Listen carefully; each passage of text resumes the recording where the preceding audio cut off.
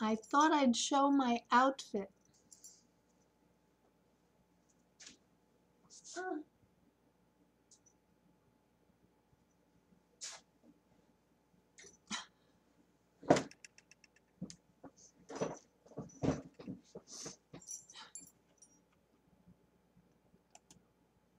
Anyway, um, I have this idea that if I wear nice earrings and interesting colorful scarves and that and you know interesting jewelry and I'm friendly that maybe people won't be uh, focused on my my aging process. Anyway, I uh, I was given instructions by my dentist and the hygienist. Um, they gave me a temporary crown uh, this week, and they said don't eat anything crunchy or very sticky. I said, sticky? You mean like oatmeal? And they said, no, like taffy. Taffy. I don't think they make a health food taffy. But uh, anyway, um, I love corn chips. So today I opened a package of frozen broccoli and uh, cooked that. And after it was done, I put in 10 and a half corn chips. I was measuring the amount of fat I was going to eat.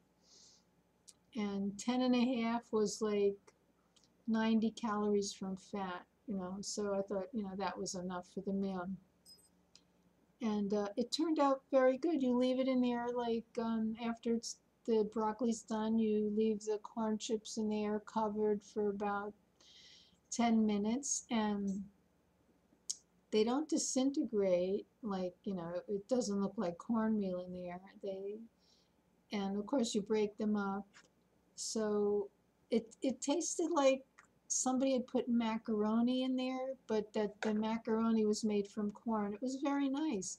So it's not that I couldn't eat any corn chips with my current dental work. It's that I had to eat them another way. And let me see, another thing that I had a problem with, oh, nuts. The hygienist said don't eat any nuts. You probably eat nuts because you like healthy food. So um, I was uh, researching about soaking your nuts. I, I still have them soaking, the walnut nuts. I don't know how soft they'll get.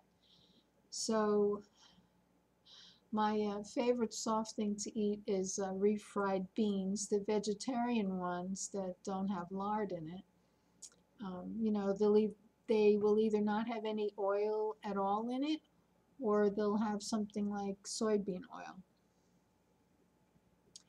And even though I eat healthy and a lot of fiber, I still have to, you know, push myself away from the table. You know, I want more, of course. It's not real hunger, it's just appetite and it tastes good.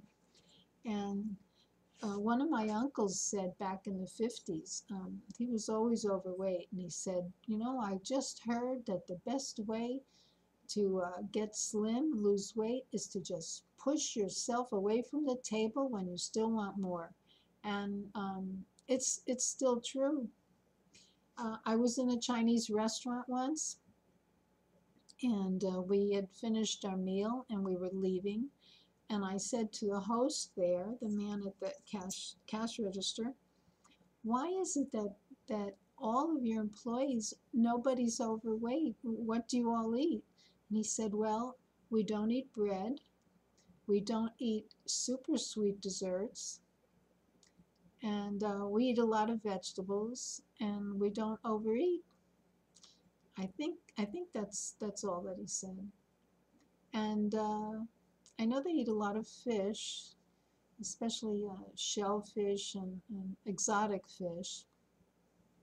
But I had read once that it's considered very rude and, and, unseemly to take a second helping of anything in, uh, in the Asian community.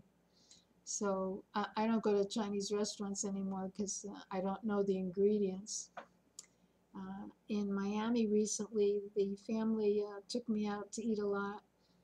and so I was very careful what I ordered. Like they went to an Asian restaurant, I ordered steamed tofu and some kind of chicken. Um, I really don't eat fried foods. In fact, the new stove I got about a year ago, I haven't fried anything on it. I kept thinking of of keeping everything nice and new, especially the uh, the little fan in the hood. Uh, usually those things get covered with lots of tiny little spots of grease, and so I haven't fried anything, and um, I think that's better. Uh, most fast food restaurants fry almost everything. So uh, I like to invent uh, new recipes and, and, and, be creative. And uh, what I bought recently was something I don't remember ever buying. It's cornmeal, but it's pre-cooked. And for some reason, uh, whenever I used to try and make flatbread, it, it always, it was nice, you know, the first few hours, and then it would turn, you know, hard like a rock. But when I use this pre-cooked cornmeal as part of the ingredients, then it stays soft. Uh, what I made yesterday is still soft. You you can bend it and um, you know you can you can uh, squeeze it and it like bounces back. So that's something to try, and that's a frugal item, also very inexpensive.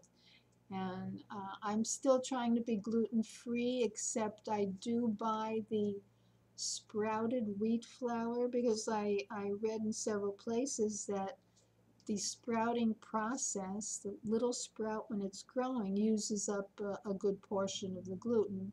So, so far it's, it's not bothering me. I had a really bad taste in my mouth for like two years. I couldn't figure out what was going on.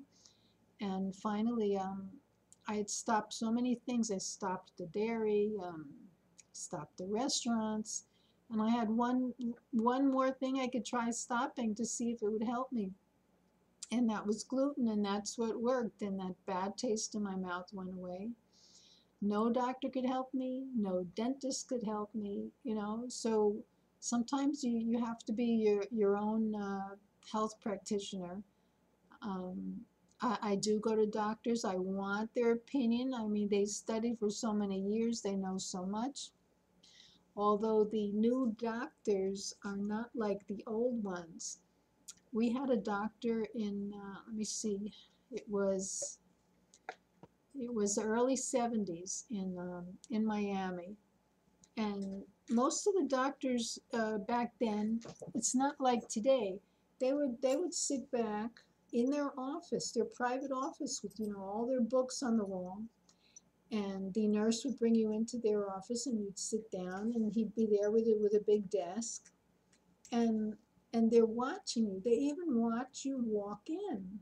They're observing already. They're starting to you know try and figure out uh, what, what they need to do to help you.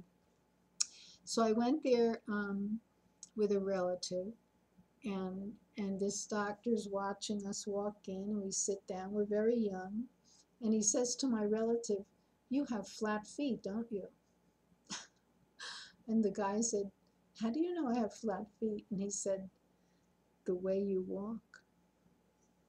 So, see, and so then you tell the doctor your problem. It no rush. He wasn't thinking about insurance and how much money he could make and the next patient, and he has to see 40 patients a day. Uh uh-uh, uh. Uh-uh. So he listened to you very carefully very friendly, very social. And, you know, then he'd tell the nurse to take you in the exam, examining room. This was phase two. First, first the interview, then the examining room. Then he examines you, and then he then he goes back in his office, and you you know dress or whatever you need to do, and he tells you to come in his office when you're ready. Then you go back in his office. This is phase three. And then he'd tell you his decision, you know, what, what he thinks wrong and what you should do, you know, whatever it is. Uh, you have a pain, um, you were nauseous, uh, whatever. Um, you know, he thinks you have um, a, a low blood sugar problem, whatever. and then you say goodbye and that was it that it and the whole thing was like like an hour not this 15 minute thing that they do these days so there are very few doctors I've known in my life. Now, this is not just from my private health life, it's from being a nurse. Think about that all the places I've worked, all the doctors. Of all those doctors, there's less than five I could count that had instinct. And not just instinct, but they really care about you. You know, you, you could tell. So, well, anyway, my dentist that I have now, she's like that. And thank Kevin, um,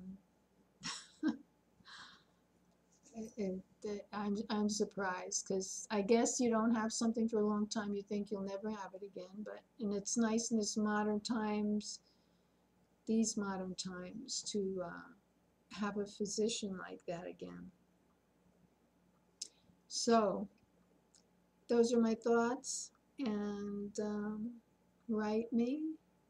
I love to share information and experiences and uh, I'll just uh, keep discovering the mystery of getting older and and it, it can be interesting. Um, make the best of it. That's the whole secret to life. Whatever happens, make the best of it.